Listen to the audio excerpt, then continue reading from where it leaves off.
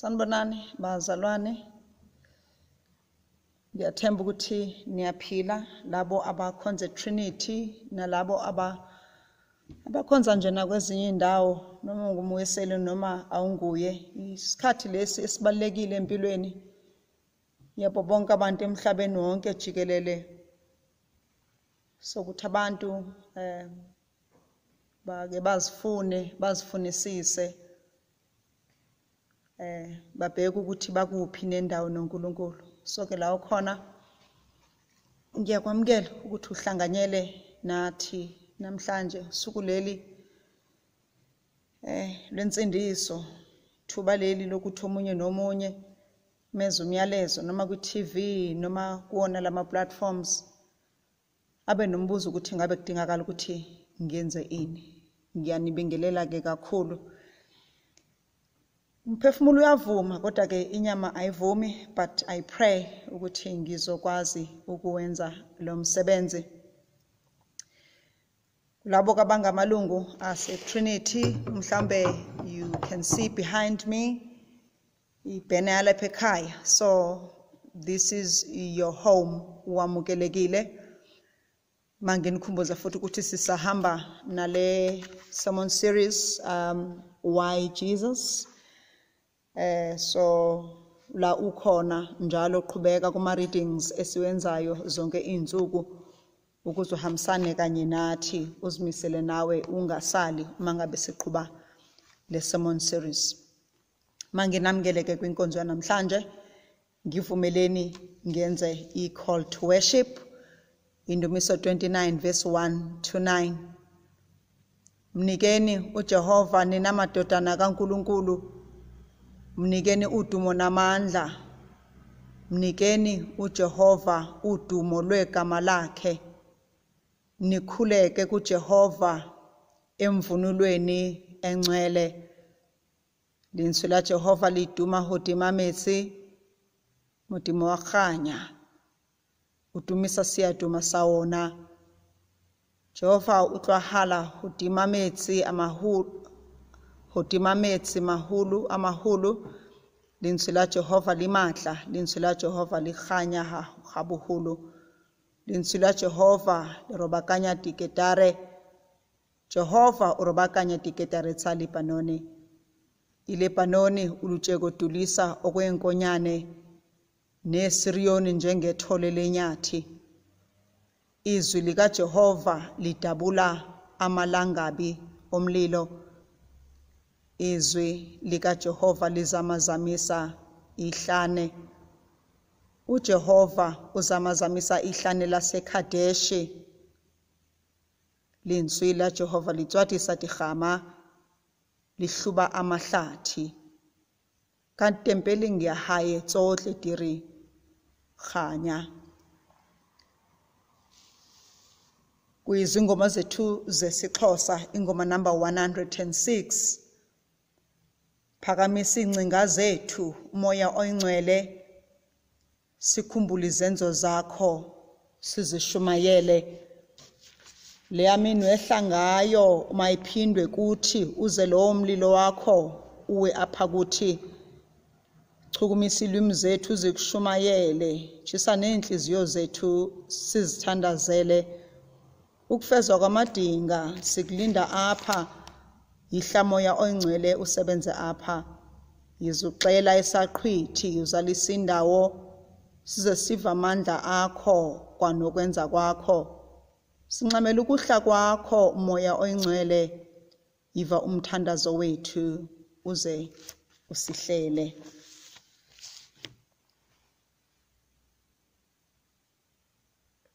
Masithandaze. Baba wethu osezulwini yise wenkosi yethu enguJesu Kristu uNkulunkulu ongunaphakade Thixo onguyise umdali wezulu nomhlaba wena wedwa owenza zonke izinto izulu nomhlaba wenza nomuntu wena wedwa owathi umuntu angangena esonweni awangathula kodwa wathumela unyana wakho wehla waba ngumuntu wahlala phakathi kwabantu wafundisa wasindisa wafa ukufa kwesiphambano wavuka kwabafileyo.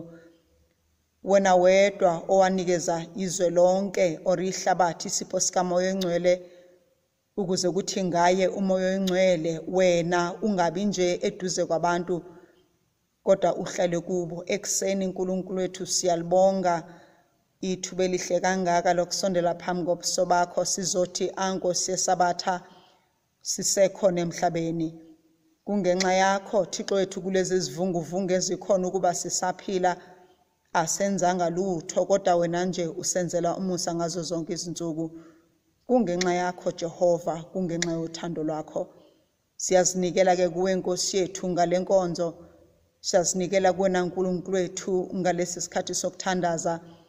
Sivuma ukuthi ngenxa yobuthakathaka bethu siye saphambuka emendweni esalisho ufefe lwakho siye nkosi yethu sahlehla kuwe sahlehla nasesiphambanweni. Senze izinto ebesingafanelanga ukuzenza sakhuluma besingafanelanga ukukukhuluma sacinga izinto ebesingafanelanga ukuzicinga thixo wethu sonile phambi kobuso bakho asifanele nokubizwa ngabantwana bakho. Kodwa yona nto esiyicelayo kuwe nkosi ethu uxolo lwakho. Sivumele thixo wethu ukuthi siphinde sibizwe ngabantwana bakho.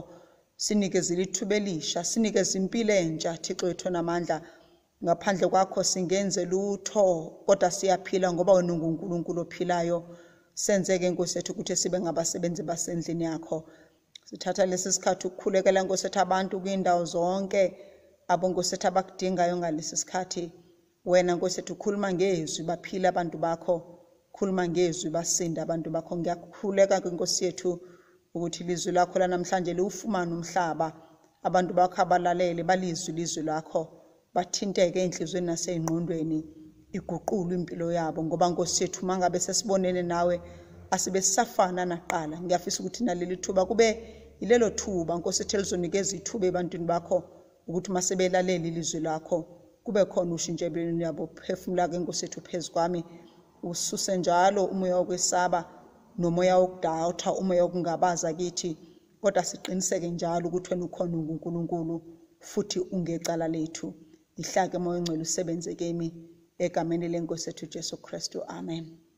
Masifumaneke ilizwi likaNkulunkulu kwievangeli lika Mark chapter 10 verse 17 to 31 ngiceleke uSimphiwe asifundele lesi sifundo.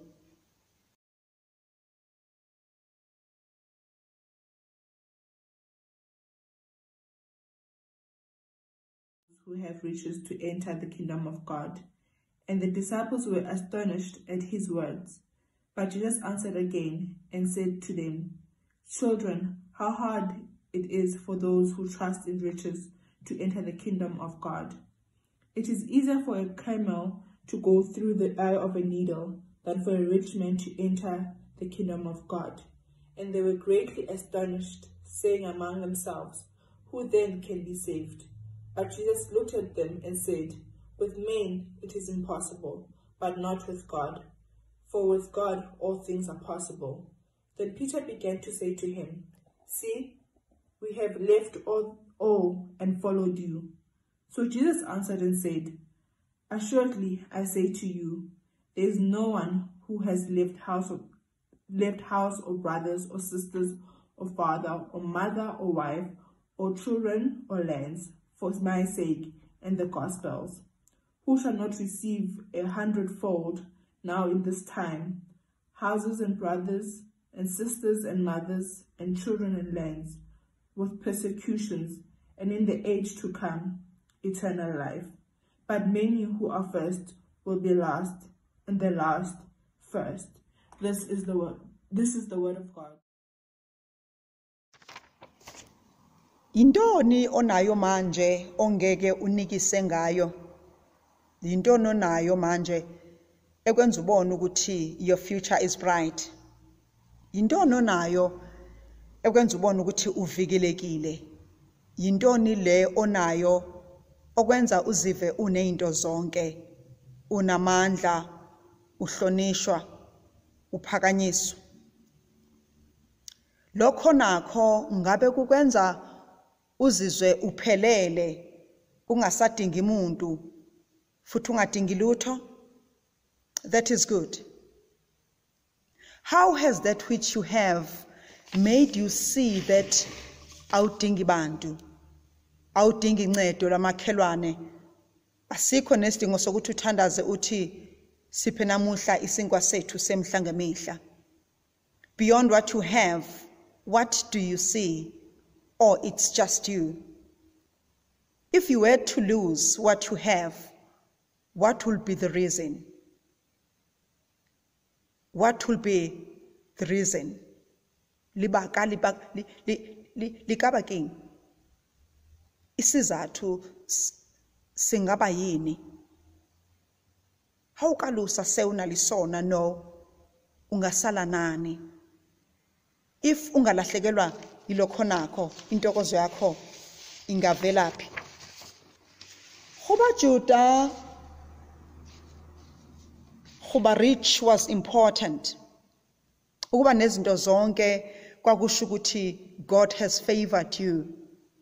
Ukwazi umthetho kwakusho ukuthi ungolungileyo futhi uyahlonishwa endaweni.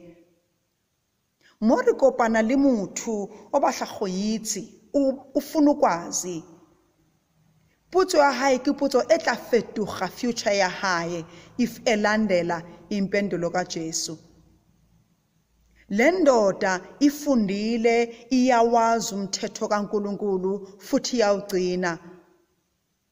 Ayiqali manje ugcina umthetho kaNkuluNkulu. Kodwa le ndoda izifunde zonke izinto iseyingane ebuncaneni kwakhe. Udibulukile tsohle hayisali munyinyane semncane kodwa konke akwenzile nakufundile akumnikeza isiqiniseko ngekusasa lakhe. Ufuna ukwazi he wants to know more. He wants to have his future secured. So ugijimela kuJesu uguqa ngamadolo. Kwenzeka lokhu nje kusemva kokuba uJesu exelela abafundi ukuthi imong ilimong yasa amoheling mmuso wa lehodimo o mmuso wa modimo jwalo ka ngwana. A keke a kena teng angeke angena kuwo. So le ndoda ifuna ukwazi ukuthi ingenza njani ukuze idle ubukumkani bamazulu. Ithi kuJesu mfundisi omuhle muruti ya mulimo ngenze njani? Abaholi babazi ukuthi ukuba ngumfundi kaJesu kwakuyingozi the religious authorities. Lo muntu naye uyafana nesinye sezikhulu kodwa uya kuJesu ubahla khuyitsi he wants to know. uJesu wamnika impendulo engathokozisi indlebe qha. Because sometimes people want to receive responses ezizokwenza ukuthi babe warm bathokoze but Jesus gives him an answer engeyona ezomthokozisa. But impendulo ezoshintsha ubomi bakhe impendulo ezothinta unembeza wakhe. Ngendlela akhuluma ngaye kuNicodemus ngendlela akhuluma ngaye kowesifazane waseSamaria. Because le ndoda ifuna ukwazi what do i lack? How far am i? But lo mbuzo was not a question of grace it was a, a question of, of debt. Umbuzo wesikweleti ufuna ukukhokha isikweleti. What more do i need to do? Ngingawuthenga kanjani umbuso wezulu? Ukwenze konke ngokwakhe ugcinile umthetho kodwa khona okufihlekile kuyena akayazi imfihlakalo yezulu. Ngoba baningi abakholwayo kodwa bangayazi imfihlakalo yezulu. Ngoba baningi abaziyo ngothixo kodwa bangamazi uthixo uqobo lwakhe. Because so many people have read about Jesus, but they don't have an intimate relationship with Jesus. baningi esihamba nabo sibaningi kodwa uthando lukaNkuluNkulu abanalo athi umhlabelele samhlabelela sebancane lwafinyelela kimi ngisezonweni zami alwaze lwangedlula lwangisindisa nami so this guy knows ukuthi kukhona into ashoda ngayo impilo yakhe although ewazi umthetho akayinikelanga ezandleni zikaJehova ayikho esandleni sikaJehova. Tshepo ya hayi ayiyo humodimo and so uyazazi ukuthi kukhona shoda ngakho mina hano ya hayi isemalini. Ayona nto ayaziyo ukuthi ngiyawazi umthetho nginemali and so my future is secured. Ama-possessions akhe izinto zakhe anazo azizinto ezasezulwini athi umhlabeleli xa ethetha ngazo usaziso kwezulu. So yena uyakwazi okobujuda uyazazi izinto zalapha emhlabeni ulifundile nelizwi likankulunkulu. Kodwa izinto zakhe azisikho ezulwini ingcebo yakhe his riches ayikho ezulwini. Impilo yakhe ke ayiphalelanga. Hobane ramutloga modimo? Siyamdinga uNkulunkulu. Singanazo zonke izinto kodwa uNkulunkulu yena siyamdinga. So Jesu o re go yena tsamaya o rekise ka tsohle tse o nang le tsona o dife ba fumanehi zonke nazo if ufuna ukudla umbuso wezulu or ufuna ukungena ezulwini hamba uthengise ngakho konke onakho ukupha abantu abahluphekayo. Then utlaba leli tlotlo lihodimong uzoba nenhlanhla uzoba nendawo ezulwini. Jesus says to him sharing is caring. Share is love. Mmuso wa lehodimo is a situation where sharing is encouraged. Go udayise lokho nakho okuphathekayo lokho kukunikeza inhlonipho endaweni ukunikeza abantu abaphuwa. Share the perishable goods ukuze ufumane the imperishable treasure yasezulwini. Dayisa lokho kubonakala nakho kuphelayo ukuze usifumanele indawo engapheli ezulwini usifumanele isibusiso esingapheli ezulwini. Yilabo ke abayosindiswa that's the question. Kuwona mbuzo abantu abafunda abanawo uma beqeda ukulalela ujesu enikeza lo muntu impendulo bathi kanti obani abangasindiswa?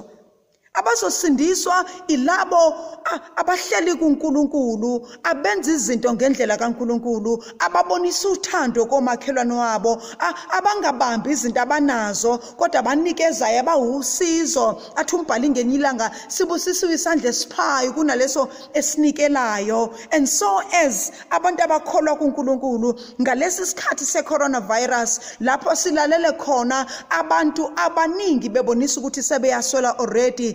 Sibusisiwe isandla esiphayo kunesinikelayo yilabo kabayobona umbuso wezulu. If uJesu anikela ngokuphila kwakhe kabakalaruna wanikela ngempilo yakhe thina intoni esibambayo ukuthi sithi lokho esinakho sinikele kwabanye abantu ukuze kube khona abantu abaningi abazothi ngenxa yethu bambonge uNkulunkulu. Ukhumbule thina singumzo sentabeni ongesitheke kanti nesisibana sisokheli sisibeke ngaphansi kwetafula. Kodwa uma sesisokhelile isibani thina sisibeka ngaphezulu ukuze sibakhanyisele bonke abantu. Uma ngabe abantu sebekhanyisekile ngenxa yokwenza kwethu bayamdumisa uNkulunkulu osezulwini bayamdumisa uNkulunkulu osezulwini. Friends so nathi siyabizwa ekseni siyabizwa namhlanje. Bangaka abantu esibabonayo abadinga uncedo lwethu? Bangaka abantu abakhalayo abadinga usizo lwethu? Bangaka abantu abadinga nje sibanike indlebe yethu? If mina nawe ngempela sifuna ukwazi imongo ombuso wezulu ezinye izinto zasembusweni one of the values of the kingdom of God ukuthi sishere siphe abanye ngabanye ngoba uma siza kuJesu asizi sihamba sodwa kodwa siza sidonsa abanye abasezantsi sibasondeze kuNkulunkulu. Siye kulabo abadingayo sisondele nabo kuNkulunkulu. Ndoda enhle or umfundisi omuhle intoni engayenza ukuze ngimbono um, uNkulunkulu or ngilidle ifa lamazulu? Uthi uJesu kuye eh uyazazi zonke izinto kodwa kusela into eyodwa. Thatha lokho nakho. Uthengise ngakho. Unikeze abantu abampofu. Thatha the pride onayo uthengise ngayo kuze kumina usumpofu emoyeni. Thatha lokuziphakamisa londeko nakho unikise ngakho or ukulahle uthi ungabamsulwa emoyeni udinge emoyeni uzeke kuNkulunkulu then I will fill you up. But as long as sithi masiza kuNkulunkulu sithi masize einkonzweni size sigcwele already singekho ispace sokuthi umoya ongcwele asondele. Mina nawo asinayo indawo embusweni kaNkulunkulu. Ngiyakumema ke emzalwane ekseni umuntu ngumuntu ngabantu muthu kimuthu kabathu. Ukuze mina ngibe ngumuntu ngiyamdinga la muntu. Kodwa kubaleke kakhulu kukhona umuntu olapha ya ongidingayo mina ngalesi sikhathi. Sibona landi inani labantu abame ezitratweni becela njengoba kuyi- kune-lockdown abantu laba badinga thina uthi kujesu ukuthi londeka izinto ocabanga ukuthi unazo ake uzikhohlwe yizo kodwa uyobheka loya muntu okudingayo. Uma ngabe usuncede loya muntu uma ngabe usuncede ifamily yakho uma ngabe usuthathe konke onakho kwenza ukuthi kwawena ungezi kunkulunkulu uthi ngiphe namhlanje isinkwa sethu semihla ngemihla ngoba izinto esinazo izona ezenza ukuthi sikhohlwe na ukuthi siyamdinga unkulunkulu. So jesus says usulibele ukuthi kahle kahle wena awudingi ukuthikha ama-boxes awudingi ukuthikha izikweletu kodwa udinga unkulunkulu qobo go and sell all your pride. Hamba konke onakho ukulahleni ngaphandle uze kimina unguwe. And then as jesus i will teach you more. Uma ngabe usufundile ngami together we will go to the kingdom of god because knowing jesus and making jesus known through what we do is one of the things we need to do. Masiphakamisa abanye ke size nabo kujesu. Uma ngabe senze njalo abampofu bancedakala ngathi abaswele bas- bancedakala ngathi nathi sazilibala ukuthi songobani kodwa safuna ujesu samfuna ujesu esenokutholwa. Uma ngabe sesimfumene ke ujesu then sinendawo ezolweni i can imagine? This guy going back. Idikibele ebusweni because itshelwe ukuthi lezi zinto eziyi-pride kuyona ayizilahlele eceleni ibuyele kujesu. Me and you we have so much to get rid of. Me and you ziningi izinto ekufuna sizilahlele eceleni. Kuningi ucabanga the preconceived ideas. Minahano ya rona esifanele silahle eceleni ukuze kuvuleke ispace ukuthi ujesu angene. Uma ngabe sesenja sesenze njalo sekuphume konke okungenamsebenzi umbuso kaNkuluNkulu engqondweni nasenhlizweni yethu uzoyifumana indawo. Then you and I sizobizwa ngabantwana bakaNkuluNkulu. It's not enough to be umuntu kaNkuluNkulu but okubalekile ukuthi sizalwe kabusha kube khona okuphumayo ukuze kube khona ongenayo. uNkulunkulu athole indawo enhlizweni yethu. uNkulunkulu anigcineke uNkulunkulu anibusise. Uma nawe uswele mhlawumbe uswele ukudla mhlawumbe uswele imali mhlawumbe uswele izinto zokugqoka mhlawumbe uswele indawo yokuhlala unazo zonke lezi zinto. Kodwa noma sezikhona kukhona ona ongenakho kukhona ungapheleli you need one thing you need one person. Udinga uJesu. Uma ngabe sesinoJesu indawo emazulwini ikhona. Uma ngabe sesinoJesu ingcebo yethu iyayeka iyasuka ezintweni eziphathekayo kodwa ingcebo yethu ibe semazulwini. La kukhona khona ingcebo yethu ke nenhliziyo yethu izoba khona. uNkulunkulu makabe nawe uNkulunkulu makakusikelele hlala ekhaya ubeke ithemba lakho kuNkulunkulu. Kusukela manje izibuye inkosi. Amen. Let us pray. Sithatha lesi sikhathi nkulunkulu wethu kusondeza ihlabathi lonke abantwana bakho kwindawo ngendawo. Abakhulekayo abathandazayo abanye bacabanga ukuthi awuyizwe imithandazo yabo. Siyakuthandaza nkosithe ngalesi sikhathi. Thoba indlebe yakho ukuze izicelo zabantwana bakho. Kuningi okwenzakalayo emhlabeni and sonke esikwaziyo nesikulalelayo zonke izinsuku i-COVID-19 abantu bakhe abafayo abantu bakhe abagulayo. Wena nkosi yethu ulikhakha lethu. Asoyiki njaba zethu asoyiki kwa-COVID ngoba nkosi yethu wena uyisihlangu sethu. Ulihawu esivika ngalo. Kuwena wedwa nkosi yethu ozosusa lesi sibetho ozosusa lokhu kufa ozosinqobela lempi yecorona. Sinikela kuwe ke Thixo wethu. Thina sizozama lokho esingakwenza kodwa nguwe namandla onke nguwe nobulumko bonke futhi izinto uzenza ngentando yakho. Siza ke Nkosi thulisa umoya omubi. Siza Nkosi hawukela abantu bakho amen. Eh zihlobo zami ikakhulukazi labo abakhonza lapha eTrinity.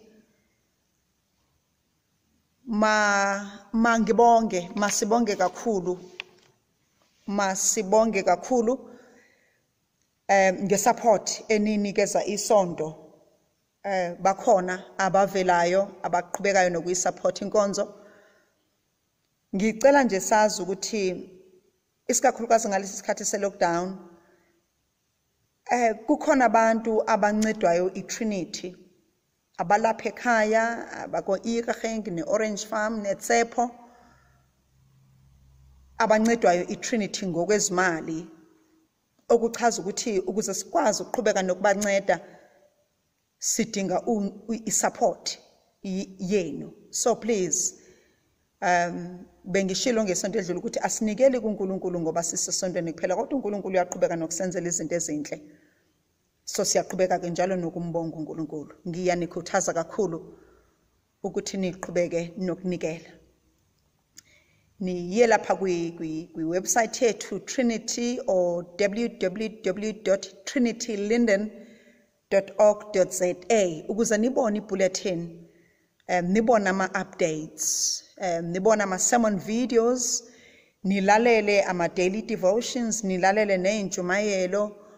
Futhi uma ngabe udinga usizo ke kwawena uqobo ngiyacela ukuthi la ukhona ungathuli i-trinity izimisele ngokusiza.